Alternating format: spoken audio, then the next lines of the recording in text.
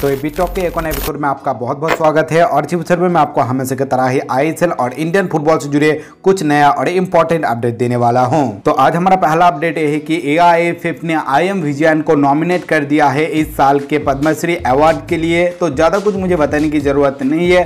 I am Vijayan के बारे में कितना बड़ा इंडियन फुटबॉल लेजेंड है, आपको भी पता है। और उनके सभी योगदान को देखते हुए इंडियन फुटबॉल में एआईएफएफ ने उनको ही चूज़ किया है।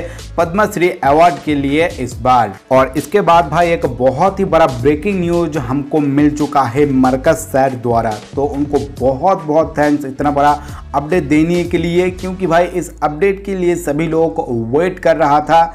तो अपडेट आ रहा है रॉय कृष्णा को लेकर। आज ही सुबह एक अपडेट हमें मिला था कि रॉय कृष्णा के पास टोटल तीन क्लब का ऑफ़र आया है। पहले से तो भाई मोहन बागान एटी के मौजूद था, उसके बाद मुंबई सिटी एफ़ का एक बहुत ही बड़ा रकम वाला ऑफ़र गया था रॉय कृष्णा के पास। साथ साथ ईस्ट बंगाल का भी एक ऑफ़र था। रॉय कृष्णा के पास, वो भी हमें पता चला आज सुबह, एकदम कन्फर्मली लेकिन मार्कस सर ने बता दिया है कि रॉय कृष्णा किसी भी टीम में नहीं जाने वाला है।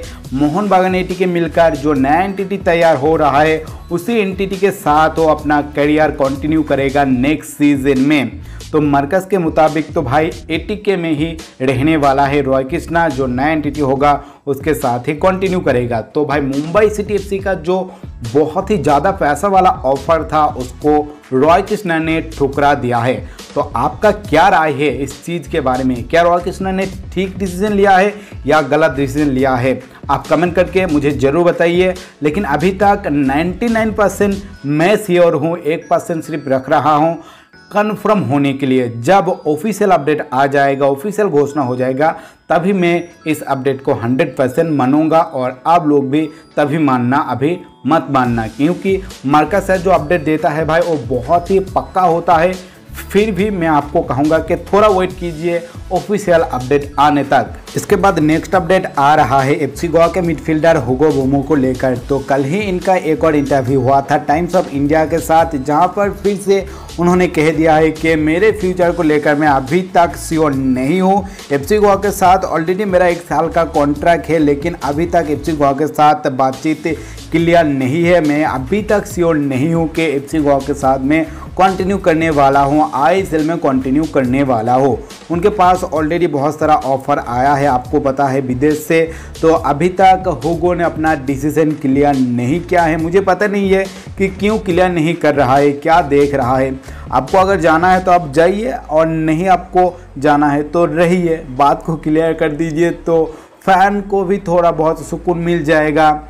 तो भाई, कितना देर तक होगो इस बात को घसीरेगा मुझे पता नहीं है, लेकिन फिर से उन्होंने कह दिया है कि उनके फ्यूचर को लेकर वो क्लियर नहीं है। एफसी गोवा के साथ वो कंटिन्यू भी नहीं कर सकता है।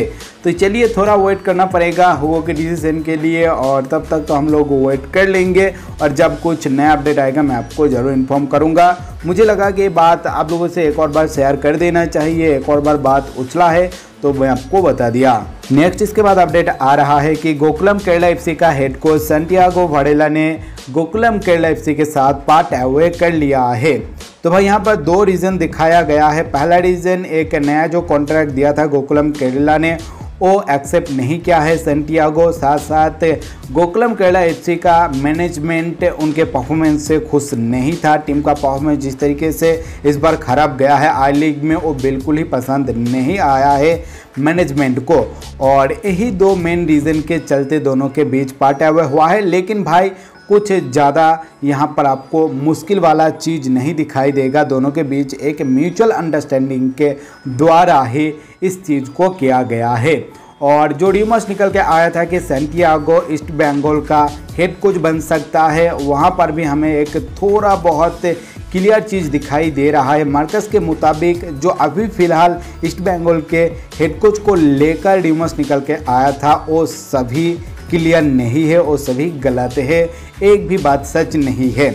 तो भाई चलिए, जब नया अपडेट आएगा ईस्ट बंगाल के हेड कोच के बारे में, गोकुलम केरला एफसी के हेड कोच के बारे में, मैं आपको ज़रूर इन्फॉर्म कर दूँगा। और इसके बाद नेक्स्ट और इस वीडियो का लास्ट अपडेट आ रहा है, ओडिशा एफसी के गोलकीपर डोरन सोरो को लेकर। आपको पता है कि लास्ट सीज़न में एक लौता विदेशी गोलकीपर था डोरन सोरो ओडिशा एफसी की टीम में और ओडिशा एफसी के साथ डोरन सोरो का पार्ट अवे हो चुका है। ऑफिशियली आज ओडिशा एफसी ने उनको थैंक यू कह दिया है। और यहाँ पर मैं आपको ये भी बता देता हूँ कि ऑलरेडी ये स्टार डेसीए बर्डेलोना ने डोरोन सोरो को ऑफिशियली घोषणा कर दिया था। डोरोन सोरो सी बर्डेलोना के साथ एक नया कॉन्ट्रैक्ट साइन किया है तो सी बर्डेलोना एक स्पेनिश क्लब है सेगुंडा डिवीज़न बी में खेलता है, शायद आप लोगों को पता होगा।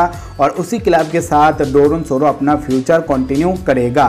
तो डोरोन सोरो को many many thank you India में आकर खेलने के लिए साथ साथ उनके फ्यूचर के लिए ऑल द बेस्ट और इसके बाद भाई वीडियो को ख़त्म करने से पहले मैं आपको एक चीज़ बता देता हूँ कि आईएसएल सीज़न सेवन में प्लेयर्स को लेकर कुछ नया रोल सामने आया है, जो कि मैं आपको कल एक स्पेशल वीडियो बनाकर बताऊँगा। अभी मैं आपको यहाँ पर अगर समझाने की कोशिश करूँगा तो बहुत ही ज़्यादा बड़ा हो जाएगा वीडियो।